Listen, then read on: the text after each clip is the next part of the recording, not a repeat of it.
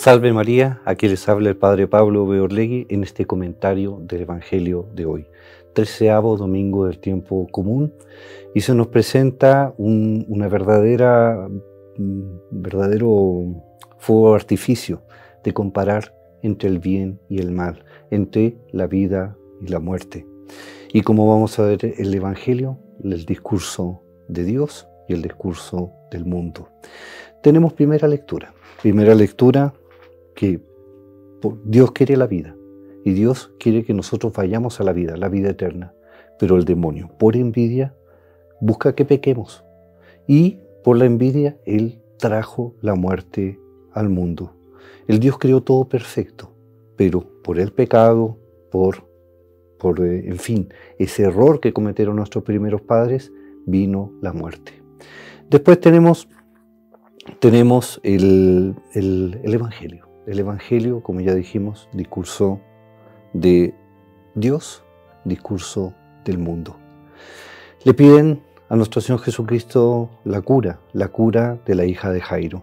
Caminó para, donde estaba eh, esta niña enferma, se encuentra con una mujer que padecía de hemorragias. Y ella escuchó la voz de Dios, escuchó la voz de Dios que creía que con solamente tocar el manto de él quedaría curada. Después de 18 años de pasar por uno y otro y otro médico, ella creía eso.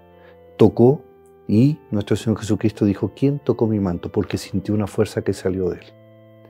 Entonces ahí la, mujer temblorosa se, colocó delante de nuestro Señor, se arrodilló, se postró, como dice acá, dice, yo fui. Y nuestro Señor Jesucristo la felicitó. Hija, tu fe te ha curado. Va, ve en paz, tu fe te ha curado. Siga camino. Y ahí la avisan eh, que su hija había muerto. Que, que, no, ya no es, necesario, no es necesario molestar al maestro. Y nuestro Señor sigue. Y también ellos todos siguen, siguen, llegan a la casa y estaban todos llorando. Era todo claro, era como la costumbre de la época, entonces llorar era todo muy expresivo. Y resulta que nuestro Señor dice, dice, no lloren, ella duerme. Reacción de todo el mundo, burla, risa, risa. Esa gente seguía los discursos del mundo, mundana, mundanismo. Entonces, nuestro Señor, ¿qué hizo? Mandó salir a todo el mundo.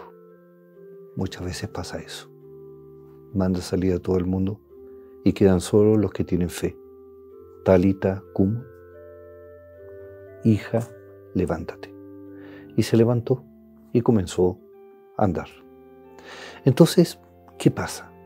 Nuestra vida, nuestro Señor quiere la vida.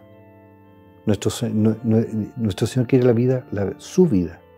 Quiere que usted viva, pero por otra parte el demonio quiere que usted caiga en el desánimo.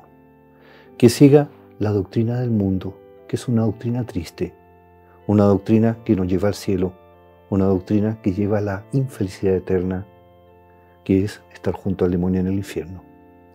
Entonces, entonces pidámosle a la Santísima Virgen María, Madre Reina, Madre nuestra, Reina del cielo, pidámosle para que nunca escuchemos el discurso de Satanás. Y hagamos como el Salmo, yo te glorifico Señor porque tú me libraste.